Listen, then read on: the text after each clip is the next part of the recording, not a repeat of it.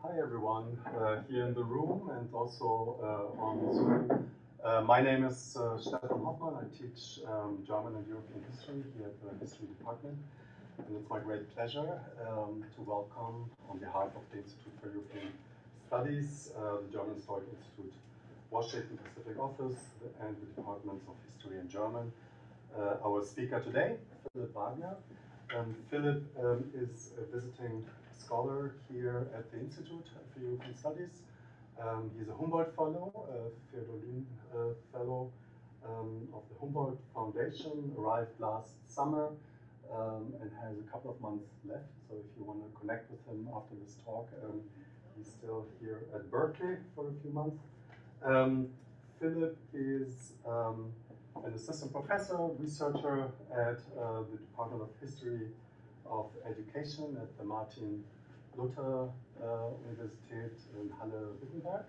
Um, he received his, his PhD 2014 uh, in modern history um, at Humboldt University, um, and uh, the dissertation was transformed into a book on urban planning, urban planning um, between 1900 and 1960, international experts, technocrats, uh, technocratic elites, transnational history of these technocratic elites taking urban planning as an example. And this book came out in 2016 in German. He is now working on a new book, um, and I think what we will hear today is the first chapter of this book. Um, it's a project on education and citizenship in the Federal Republic of Germany uh, from the immediate post-war years and the Allied occupation until um, yeah, the first decade uh, after reunification, when West Germany absorbed, or the West German educational system absorbed um, the, the, communist um, East German education system. Um, and this is also going to be, well, maybe I should mention first uh, that he recently published um, um, a special issue of the journal European Review of History, um, titled Molding Democratic Citizens, Democracy, Citizenship, and Education in Post-1945 Western Europe. So if you want to read up on some of the things that, that Philipp will talk about today, um, that would be a good place to start. Um, and the talk today um, is entitled Unequal Re-Education, Schooling and Democracy in West Germany, 1945-1955. So please join me in welcoming um, Philipp Wagner. Um, hello, everybody. Um, thank you very much for the kind introduction, and thanks also to the IES and the GHI for making this happen today, and thanks to all of you for showing up today despite your busy schedules in the middle of the semester. What I will do today um, is, uh, yeah, to talk a bit about what I've done over the last couple of months here in Berkeley. Um, at the center of my talk stand the ambivalences of education and democracy in the post-war decade. And, well, yeah, you may ask yourself, why is it relevant to re-evaluate this period, which is one of the most thoroughly researched epochs in modern German history? And the aim of my talk is to argue that these post-war controversies I'm focusing on today um, tell us a lot about the origins of our disputes about inclusion and exclusion in contemporary democracy. Um, these um, controversies gained traction due to the right, rise of right-wing populism over the last decade, I would say. Experts and intellectuals point to the nexus between educational and participatory inequality in Germany. Those with a lower educational attainment and a lower income for a long time only limitedly participated in contemporary democracy and sometimes even tend to support right-wing populist initiatives. And on the other hand, academically trained uh, middle to upper class citizens dominate not only the parliaments, but also the contemporary advocacy networks, action groups, and grassroots movements of today. Um, against the background of these uh, diagnoses, these experts appeal for more programs to integrate the marginalized communities into democratic forums. Other experts um, object this notion of a class-based German democracy some seek to demonstrate increasing participation of those with a lower educational attainment um, over the last 30 years. Um, others hold that liberal societies have to accept social injustice. These inequalities could even help democracies, these experts believe, when engaged citizens emerge as teachers of democracy in front of the broader public. The aim of my talk is, isn't uh, to settle this conflict, but rather to reveal its longer history. For that reason, I go back to, to West Germany, to post-war West Germany, in order to study the conflicts around the attempts to mold young people with different socioeconomic backgrounds and different gender identities into democratic citizens against the backdrop of mass violence and the Nazi dictatorship. In what way did elite and German lawmakers gear their programs towards the perceived needs of different social groups? How did they differentiate between target audiences? And how did students respond to these schemes?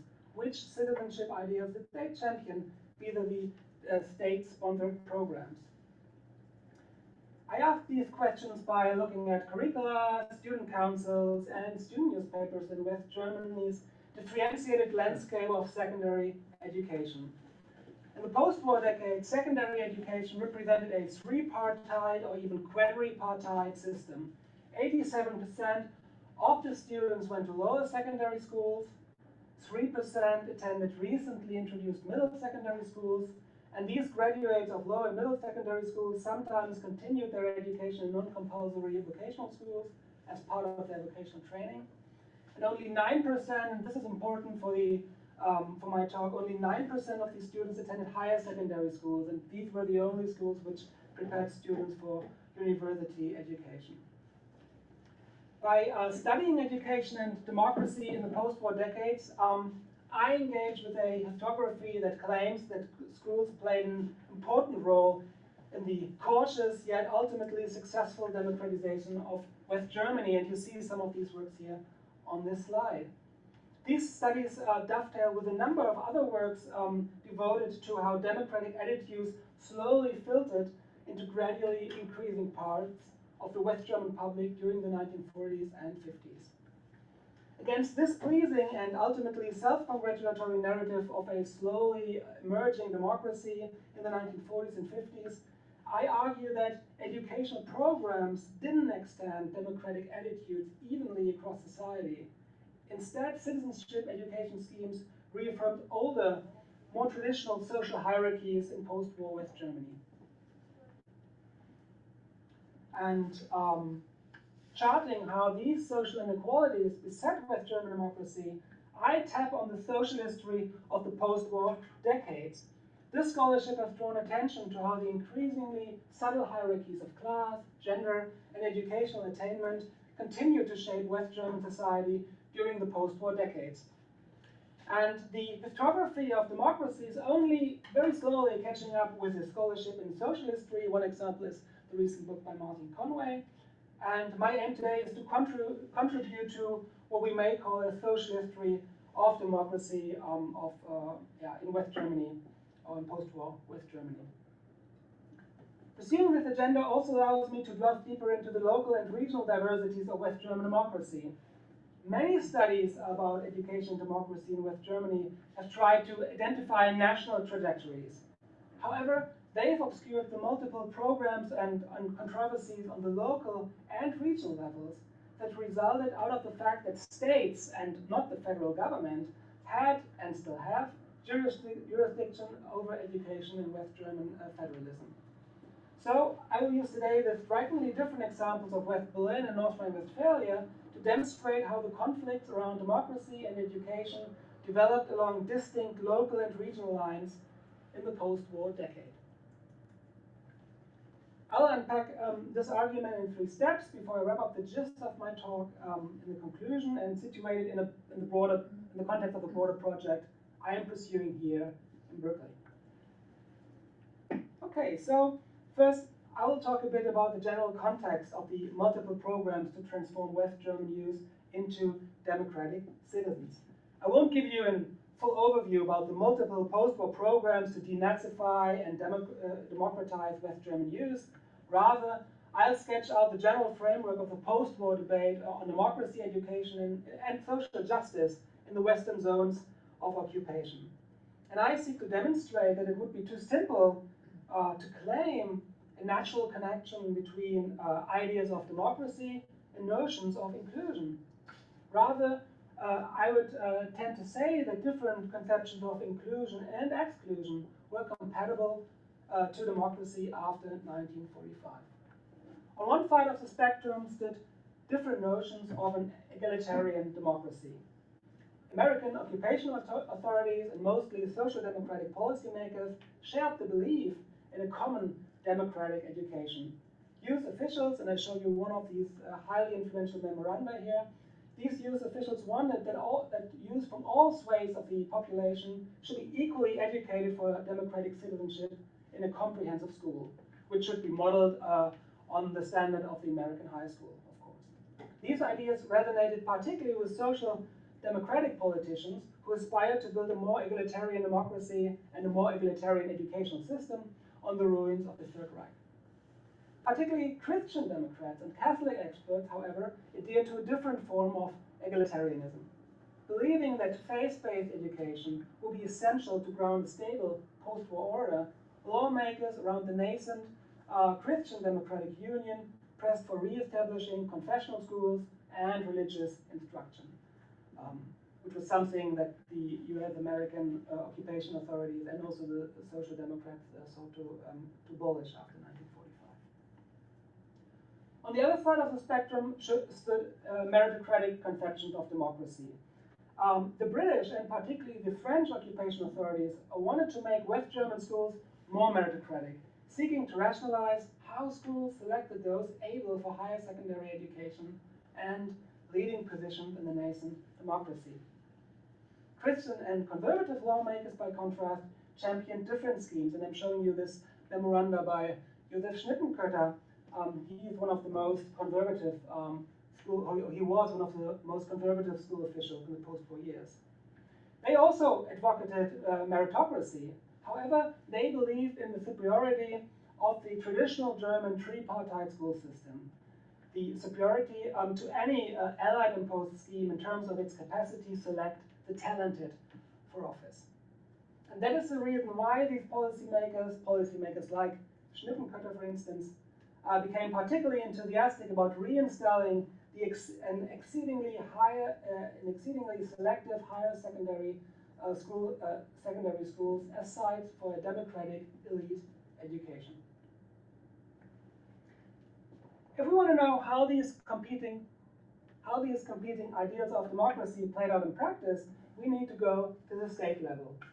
And then the second part of my presentation, I will turn to post-war Berlin, where one of the arguably most radical programs to equalize access to democratic citizenship materialized after 1945.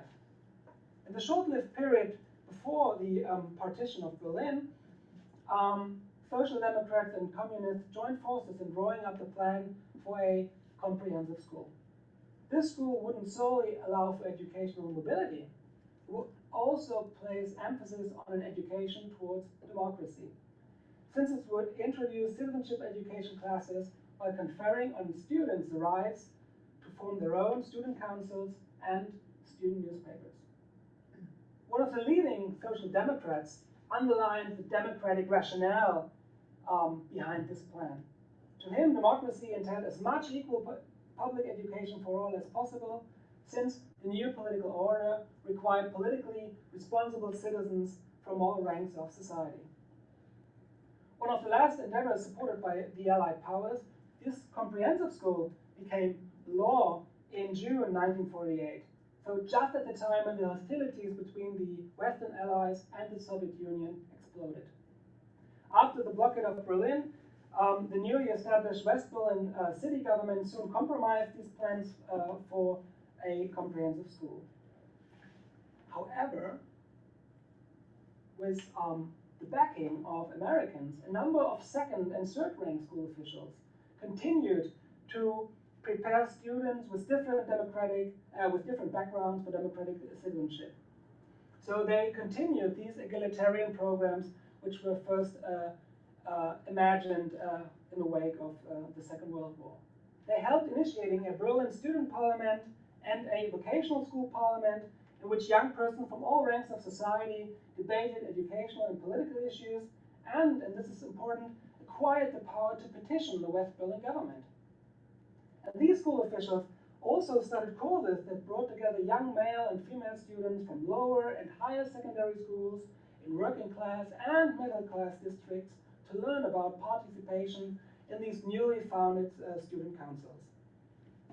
In many ways, these egalitarian programs responded to the Cold War, dovetailing with many other state-sponsored endeavors to turn West Berlin into a bulwark uh, against the GDR. When we look at how these programs were taken up in the classroom, um, we nonetheless see the limits of these initiatives to reach young persons from all walks of life. Sure, when it comes to citizenship education classes, these programs failed for almost all students. Despite some experiments with citizenship education in the immediate post-war period, and we see one of these um, experiments here on the slide. This is a picture from 1947. Um, nevertheless, these experiments um, with citizenship education, these classes were quietly abandoned in the early 1950s. Some of the former uh, member, uh, members of the Nazi Party were able to return to their teaching positions in the early 1950s, as we all know, and they quietly circumvented the democratic curriculum. Other teachers had more general qualms about citizenship education, equating political education with general indoctrination. Nonetheless, these similarities, a closer look at how students engage in student councils and student newspapers, reveal how young people from different social backgrounds differently made sense of their democratic citizenship. Most of the, of the lower and working class students in lower and middle secondary schools took up a rather obedient citizenship. Even though most of the lower and middle secondary schools and vocational schools established uh, student councils, these councils predominantly took up routine tasks in school life in accordance with the demands of teachers and principals. Only in selected cases, students deployed their councils or issued newspapers to state their claims against teachers and principals. Representatives of vocational schools, for instance, sometimes petitioned the West Berlin city government through, through the citywide vocational school parliament, but this was only uh, an exception. Um, by contrast, a minority of higher secondary school students championed a more engaged sense of citizenship through student uh, newspapers and student councils. In about one third of West Berlin higher secondary schools, um, students ran their own newspapers, through which they not only reported about school life, but also staked their own claims for participating in school, in school matters. And almost all higher secondary schools established schools councils. These forums, sure, they took over routine tasks, yet many of them actively engaged in shaping everyday life in schools and representing the interests of students vis-a-vis -vis teachers, principals, and even school officials. One remarkable example was the Berlin School Parliament, in which higher secondary school students continuously petitioned the government about a reform of higher secondary education. The outrage of politicians and school uh, officials at these petitions prompted the Berlin School Parliament even to issue a consolatory declaration in 1955, which was issued in many of these uh, parent newspapers, parent newsletters, uh, student newspapers, and uh, even one of the leading um, general newspapers in, in, in West Berlin. Yeah. Whereas the, the case of West Berlin epitomizes the post-war attempts to make democracy more equal and the limits of these schemes, the example of North Rhine-Westphalia demonstrates how policies um, that wavered between Christian universalism and meritocracy translated into intersecting discriminations. Catholic lawmakers and experts were instrumental in educational policy in post-war North Rhine-Westphalia, and I'm showing you some of their of the books and, and leaflets they issued in the early post-war years. Um, the Christian Democratic Union um, ruled the state, um, North Rhine-Westphalia, since its inception. Catholic education experts dominated the school administration, while particularly in the Rhineland area of North Rhine-Westphalia, so around these cities of Cologne and Düsseldorf, the Catholic Church vigorously attempted to assert cultural preeminence. Christian Democratic and Catholic politicians adhered to a Christian universalism that should ground future democratic citizenship. They famously drafted a constitution, a state constitution, and a school law that stated um, that young people needed a quote reverence to God unquote, which would underpin their, um, I'm quoting again, the willingness for social action the spirit of democracy. And I'm uh, showing you this um, the school law here. And this school law quotes the Constitution, uh, which was issued uh, two years before. These ideas translated into a wealth of decrees that didn't merely aim at strengthening religious education, these decrees also intended to further the knowledge um, of the symbols, institutions, and ideas of democracy among the younger generation. In the context of growing Cold War tensions, these programs responded to the GDR, which bombarded North Rhine-Westphalian schools with propagandistic letters and leaflets in the early 1950s. However, in North Rhine-Westphalia, Christian universalism merged with meritocratic convictions. Since the immediate post-war period, school officials and education experts in North Rhine-Westphalia were obsessed with what they called elite education. The primary purpose of schools would be to ensure that the most gifted could rise to leadership in democracy. These ideas entailed that school officials geared different schools to what they believed were different talents. This thinking shaped how the different schools prepared the younger generation for democratic citizenship. The government made sure that lower, middle, and vocational schools would prepare students for how to fit into what was called a democratic community. Whereas higher secondary schools would give students more opportunity to voice their interests and to learn how to actively participate in school and society. This meritocratic rationale yielded that lower and working class students only received a limited education towards democratic citizenship. In the late 1940s and early 1950s, lower and working class parents predominantly sent their kids to lower, middle, and vocational schools in North Rhine-Westphalia. In these schools, lower and working class youth didn't experience instruction in civics, and neither did they produce student newspapers. In some cases, they set up school councils, yet these bodies only took up routine work in school in accordance with the wishes of teachers and principals. However, at least in some instances, um, these educational schemes produce unplanned consequences um, in these lower uh, um, secondary and vocational schools. And this happened when students championed a more critical citizenship than the state had intended. In some vocational schools, so-called critical students made themselves heard in the early 1950s.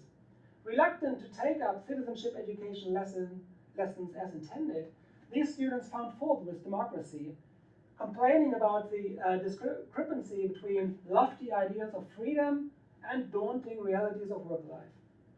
So where did this disapproval of democracy or the West German system come from? Well, it seems that these students were in contact with socialist and Catholic youth movement, which, from different perspectives, sure, but both condemned much of the culture and politics in the age of the economic miracle.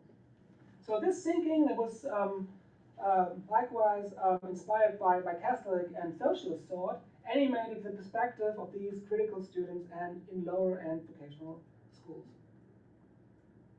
The meritocratic uh, programs of, North, of the North Rhine-Westphalian government also yielded that young women were relegated to a more charitable citizenship. Nonetheless, some girls' schools possessed engaged student councils. Most girls' schools often only took up socially concerned tasks in schools and the public. Girls were informally discouraged from a more participatory citizenship. Yet the rhetoric of leading school officials reveals subtle preconceptions about girls' limited talent for politics.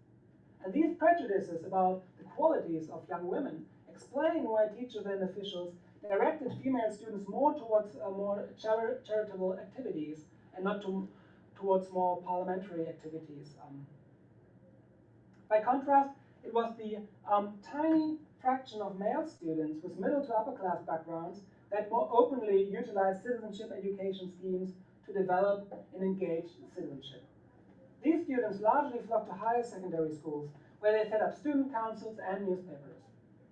Here it is important to see that they didn't only use these forums to cooperate in school matters, as the school councils did in, in lower and vocational schools, but they also used these school councils to voice their opinion against teachers and principals. a variety of different programs that all predominantly supported these student, student councils and student newspapers of higher secondary schools further contributed to widen the rift between how middle and upper class students and lower and working class students uh, were prepared for democratic citizenship. Arriving at the conclusion, what I basically wanted to do in this talk was to challenge the often told narrative of a rather even expansion of democratic attitudes across all social strata of West Germany during the 1940s and 50s. Rather, my focus um, tried to reveal that social inequality became intrinsic to post-war West German democracy right from the start. Sure, the different initiatives I've briefly touched uh, on today shared a universal belief that all young people needed some sort of introduction to democratic citizenship. However, in practice, these initiatives marginalized young people from different social swathes. Even the most egalitarian initiatives in West Berlin couldn't prevent that particularly middle to upper class students in higher secondary schools developed a more participatory citizenship, sometimes even in conflict with government and school administrations. On the other hand, the example of North Rhine-Westphalia demonstrates that the Christian democratic project of educating a democratic elite of the most talented confined many lower and working class students and female students to a preparation for a rather limited citizenship. Yet some of these students didn't simply submit to state-sponsored programs and constantly uh, made up their own sense of a more critical um, sense of civicness. The different examples of West Berlin and North Rhine-Westphalia show that schooling contributed to consolidating West German, Germany's stratified democracy in the 1950s, in which students from different backgrounds were exposed to a liberal society uh, in strikingly different ways. Even though the educational reforms of the 1960s and 70s in West Germany largely changed the ways in which West German adolescents across society were prepared for democracy, the conflicts of the post-war years introduced some of the fundamental notions of the debate on education, democracy, and social justice that are still with us today. Sure, it is true that the history of, dem of democracy and education doesn't end in 1955, and so does my book project uh, not stop there. What I presented you today is indeed part of a larger project on the history of education and democracy in West Germany between the 1940s and the 1990s. In this project, I aim to show that we cannot write the history of West German democracy as a mere history of the liberalization of the younger generation from the jokes of tradition or the jokes of National Socialism, if you want to say so. Um, rather, I use the notion of governmentality to reveal how policymakers, experts, and educationalists try to subtly govern how young people adapted to democracy. They didn't only accustom the young to the democratic rights, but also subtly control and sometimes even contain how young people engaged in society. Yet I won't argue that young people simply submitted to these programs. I rather chart the many ways in which the younger generation internalized, even subverted, state-sponsored messages. I also bring in the perspective of social history, and I talked a little bit about that today, to reveal that young persons weren't governed in similar ways. For that reason, I'll deploy the notion of intersectionality to understand how officials and experts differentiated between different target audiences and then geared their programs towards the perceived needs of different groups, or what they considered as. I hope to reveal that many of these programs, nevertheless their egalitarian pretensions, resulted in differently preparing people from different backgrounds for democratic citizenship. And this is why these programs had fundamental consequences for how young people with different backgrounds responded to these programs and engaged with democracy. And this uh, was specific to the 1950s as it was specific to the educational reforms or the era of educational reforms in the 1960s and 70s. These reforms weren't solely animated by, a, by an egalitarian rationale. At the same time, these schemes were united by a subtle skepticism about the democratic, about the democratic qualities of lower and working class youth. I won't go into that today. I just wanted to conclude um, with that I hope to show you that through education we can throw many of the ambivalences intrinsic to modern democracies into sharp relief. Thank you.